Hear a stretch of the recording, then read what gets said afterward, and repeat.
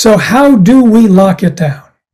And that was the question that we at the Institute for Responsible Technology asked ourselves. We had pioneered a movement. I had worked on it for 25 years. We grew it around the world. When I started, no one was talking about the health dangers of GMOs other than three or four sentences. And I realized that they were leaving a lot on the table by, by just focusing on the environment or patenting or farmers' rights. None of the NGOs wanted to touch health. But it was the health dangers that got that moved the needle, created the tipping point. So we at IRT were used to creating new messaging for the world and creating a new movement. So that's what we're up to now creating a new movement to protect nature now. And in order to do that, we have to focus on three targets. We need laws. Again, consumer choice isn't going to make it. We need to stabilize the understanding of the dangers of genetically engineered microbes to start with popular culture and academia. Government laws are not enough. I remember being flown to, by the government of Poland years ago to give a press conference with their Minister of Environment. I praised their country's non GMO policies, but one week later, a pro GMO government was voted into place. Similar thing happened in Thailand. So we can't rely on government laws alone because they can change with regime change and with special interests.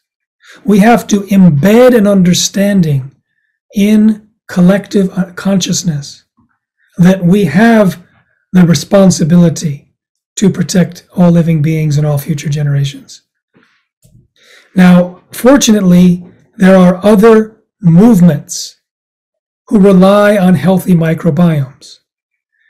Regenerative agriculture, extremely important to draw down carbon, to improve the quality of crops, to renew and build our soil, which supposedly has 55 growing seasons left, to overcome the need for farmers to use any pesticides, including fungicides, herbicides, insecticides.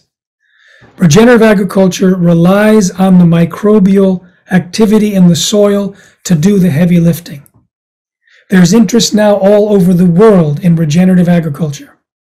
But if we start releasing microbes anywhere in the world, it could theoretically destroy the ability for soil microbes to sequester carbon, to hold water, etc., etc. Environmental conservation. There are groups that are buying up and protecting rainforests and pristine lands around the planet. But these can be wiped out if their microbiome becomes imbalanced from genetic engineering. Same with oceans. The algae in the oceans, they are really the lungs of the planet with 70% of the oxygen. They're now genetically engineering algae. There's multi-billion dollar plans to use genetically engineered algae to create biofuels. But what if that changes the metabolism of the algae in the ocean? But algae also swap genes with bacteria. So all bets are off. We don't know if we are going to be choking off the oxygen supply through the oceans. Invasive species, GMO microbes are invasive species on steroids. They multiply at fantastic rates. You can't see them, you can't recall them, and they can appear in all the ecosystems of a particular jurisdiction. Human health, we've already discussed, even national security, because someone could accidentally create a devastating biological weapon or a devastating way to destroy uh, ecosystems in our future. So we, as the, as the Institute for Responsible Technology, are reaching out to these organizations, to these movements. And if you're a member of that movement, please connect with us and allow us to provide you with educational assets so you too can also call on governments and the humanity to lock down genetically engineered microbes. Now, what's interesting is if there's a silver lining to the pandemic, one of them is the fact that it has alerted the world to the dangers of GM of microbes, period, whether they're genetically engineered in origin or not. I don't need to enter that debate because we know that microbes now can travel the world, mutate, and wreak havoc. Now, there is a discussion uh, that it might be have been released from a lab, and we don't need to know whether this particular virus was creating in a, created in a lab or not. As you'll see in the 16 minute film, Don't Let the Gene Out of the Bottle, we introduce gain of function research. And there you'll learn about H5N1 avian flu, which has a 52% death rate. And genetic engineers made it airborne in a laboratory. It's very hard to contract this H5N1 avian flu. In a decade, less than a thousand people have caught it because they were hanging around birds uh, grown in in um, bird farms for a long time. But scientists made it airborne, which means theoretically it might create a devastating pandemic that can decimate the human population if it escaped. But if you think about biosecurity levels three and four, you might think of them as fortresses that are invulnerable. But over a thousand accidents have occurred and been reported, let alone perhaps many more that have been unreported. There have been releases accidentally of some of the most dangerous pathogens. And so, what we've decided to do at Protect Nature Now and GMO 2.0 is to call on not just the ban of the release of genetically engineered microbes, but a ban on the gain of function enhancement of potentially pandemic pathogens.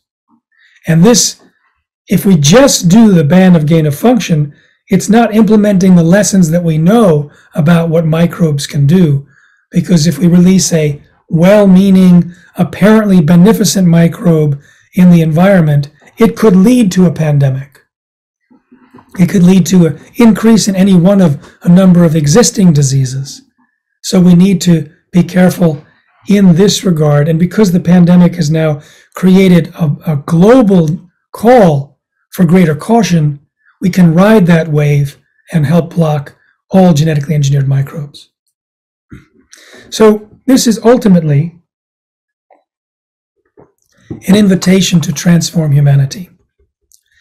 Many people have had the experience of being diagnosed with a life threatening disease, and when they pull through, they acknowledge that that disease turned out to be one of the greatest blessings of their lives.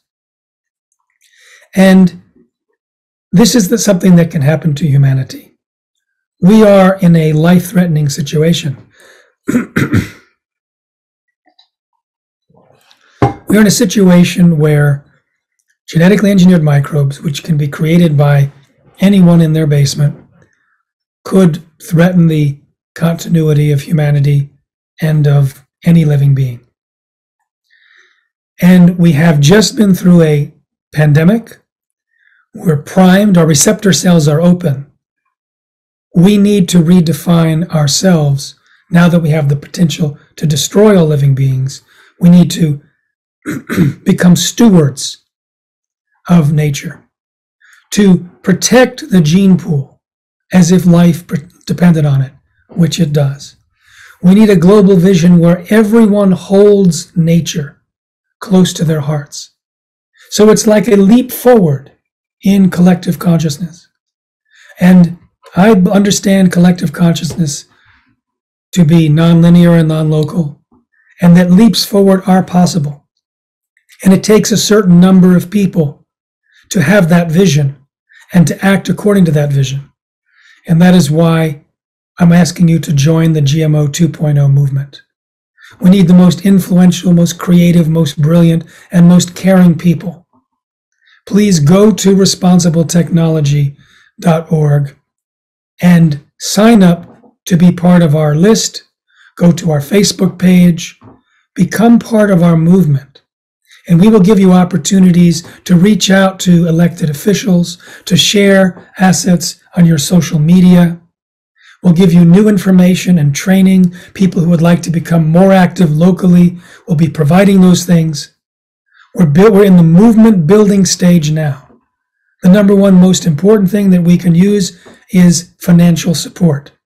So at responsibletechnology.org, please go to the donation tab and make a recurring donation of any amount that you can afford per month. Because then we will know we'll have that money to count on when we hire people and invest in a particular film or TV series or travel or project. So please join us as a member of the GMO 2.0 movement and if you can, as a contributor.